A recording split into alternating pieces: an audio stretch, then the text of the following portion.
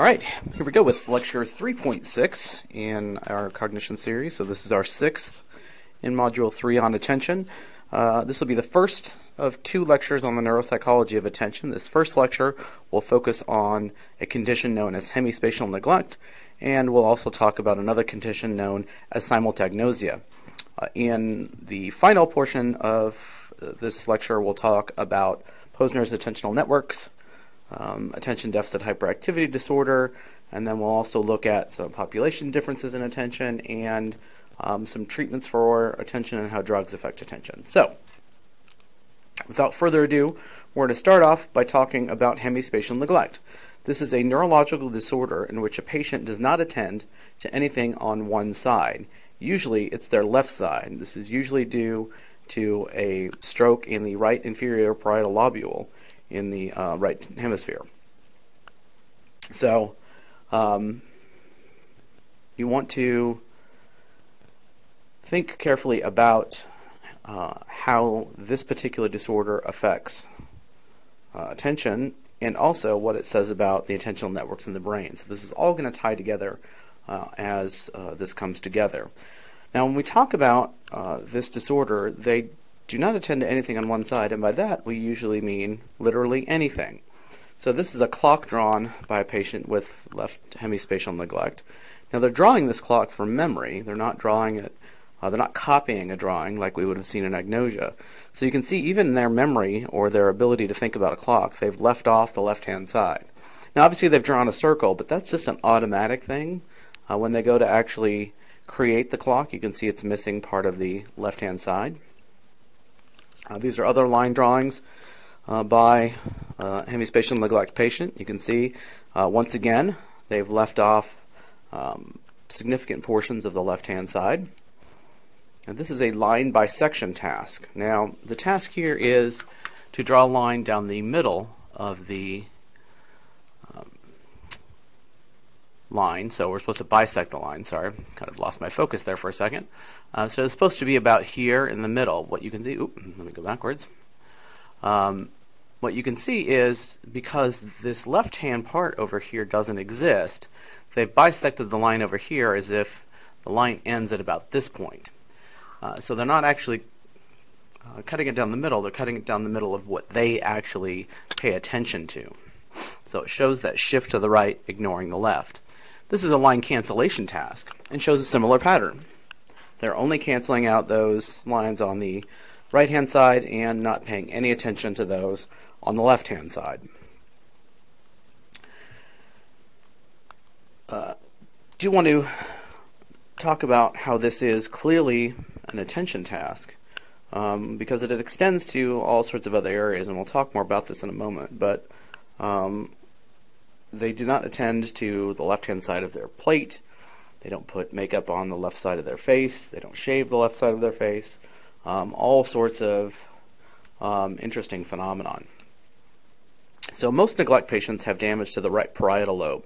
This is often called parietal neglect or um, hemi, uh, hemispatial neglect, uh, hemispheric neglect. There are a bunch of different names for it. But they're essentially neglecting the left-hand side. That's why it's called neglect, because um, they just don't pay attention to it. It's still there. It's all that information is still available. They just simply are neglecting it. And again, this is an area of the parietal lobe called the inferior parietal lobule that is most, most often involved. So this is a left inferior parietal lobule, but just flip it over to the other side. And this is the area we're talking about. This is, of course, part of the dorsal stream, which is part of the where pathway, which we've talked about a little bit already. So this uh, Inferior parietal lobule is about right here. Um, some people have proposed there being a third stream, but really it seems to be part of this dorsal visual stream that we've talked about, which is involved in um, knowing where things are, part of the where pathway. So the first thing to talk about is neglect is not a perceptual phenomenon. This isn't agnosia. This isn't um, an inability to see things or see objects. We'll talk about simultagnosia in a moment uh, which is another attentional disorder. Um, but the biggest thing we see is that neglect has an impact across all modalities. Um, so it's their uh, visual system, auditory system, their um, somatosensory uh, systems, all of it gets ignored. Uh, in fact, neglect patients even ignore part of their bodies. You can take their left hand and put it on top of the right hand, and they'll tell you it's somebody else's hand. Um, and the man who mistook his wife for a hat, Oliver Sacks talks about a patient with hemispatial neglect, uh, in which the patient wakes up in the hospital, believes that the staff has played a trick on him, and that uh, they have pl- placed a severed human leg in bed with him. And so he grabs a hold of the leg to throw it out of the bed. Of course, it's his leg, and he throws himself out of bed. Um, what's interesting about neglect patients is they can still walk because walking doesn't require attentional resources. Um, and you can actually get them to automatically attend to things on their left hand side. So a loud, startling noise to the left will automatically capture their attention, um, which is pretty remarkable. So they have no normal motor coordination. I believe with some neglect patients, if you throw something at them on their left side, they can catch it. Um, and as I said, they can be directed towards something on the neglected side. And I know um, some treatments for neglect include basically putting everything on the left side so that they have to think about, um, they have to constantly force themselves to pay attention to that side to sort of reestablish that pathway. Because what neglect patients will do is they will complain that they only got half a dinner um, because they only see half of it on their plate. So it's really remarkable. And as I said, they'll put makeup on one side of their face, they'll shave one side of their face, um, which is really pretty remarkable.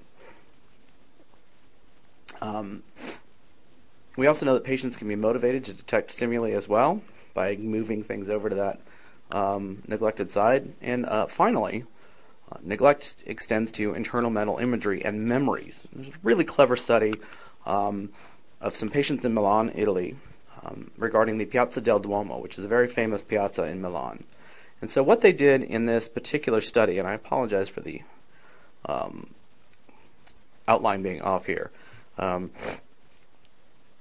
but the two uh, Milan neglect patients were asked to imagine standing at one of the end of the piazza and describe what they could see. So, as you can see, this is an aerial view of the piazza.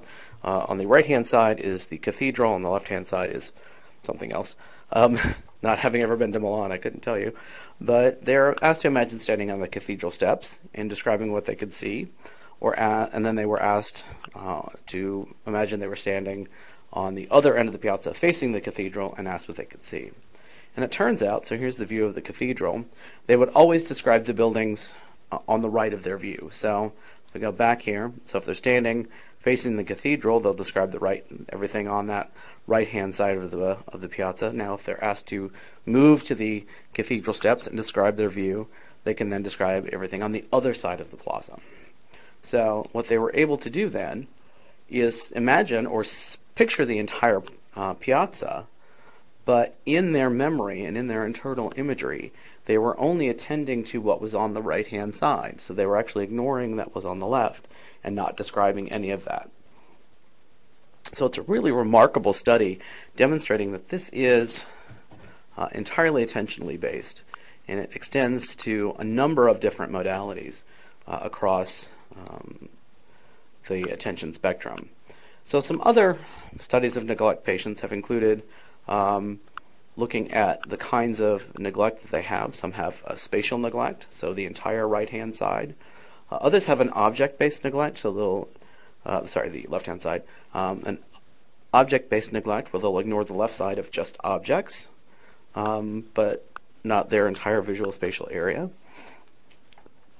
Uh, we know that patients with right hemisphere damage have a more severe neglect, so there is right side neglect um, based on a left hemisphere stroke but it's uh, not as common and it's not as severe.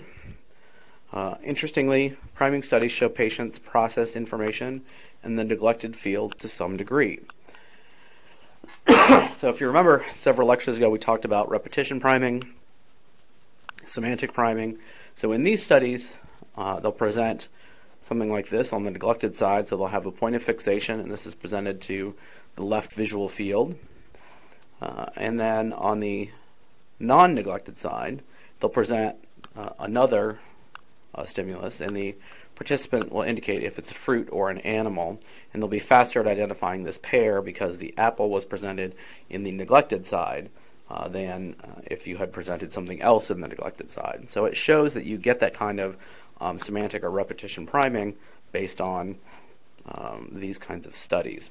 So that's a quick introduction to agnosia. I want to, or sorry, hemispatial neglect.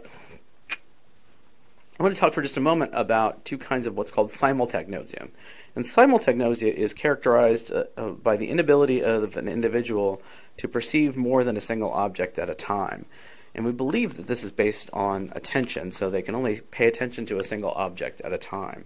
And so if you present uh, this kind of visual scene uh, to a simultagnosia patient, um, they'll be able to describe individual objects, but they can't tell you what's happening in this scene. So they won't be able to process the scene all at once, which is, there's a lot going on here. I don't know what she was taking, but obviously something good because she's not paying attention to anything happening. Um, but this is the kind of thing you present to patients to see what they can see and what they can't process, can and can't process. And they can process one thing at a time. Oh, the sink's overflowing. The kid's going to fall down. Um, she's drying her dishes, that sort of thing. But they can't process the entire visual scene. Uh, there are two different kinds of simultagnosia a dorsal simultagnosia and a ventral simultagnosia. And in dorsal simultagnosia, perception and attention is entirely limited, limited to a single object. So they're only able to see one object at a time. And so these patients um, may collide with things in a room because they aren't noticing them. And so they'll walk right into them because they're only noticing one thing at a time. Uh, this is generally due to bilateral lesions to the junction between the parietal and occipital lobes. there is also a ventral simultagnosia, uh, in which patients are able to see several objects at once, but the recognition of objects is piecemeal or limited to one at a time. Thus, individuals are capable of navigating through a room without bumping into furniture. Now, um, what's interesting is there is some evidence that dorsal simultagnosia is actually due to an inability to disengage attention from a single object. So once you've focused on an object, you can't disengage and switch your attention to another object. Um, and so there's some question as to what the mechanism between dorsal and ventral simultagnosia is. Uh, but there is some belief that that may be the case, that once you've directed your attention somewhere, you can't disengage and move it somewhere else. Uh, but patients with ventral simultagnosia um, seems to be this kind of loss of the ability to perceive a whole scene. They can see each piece, but they can't um, put it all together.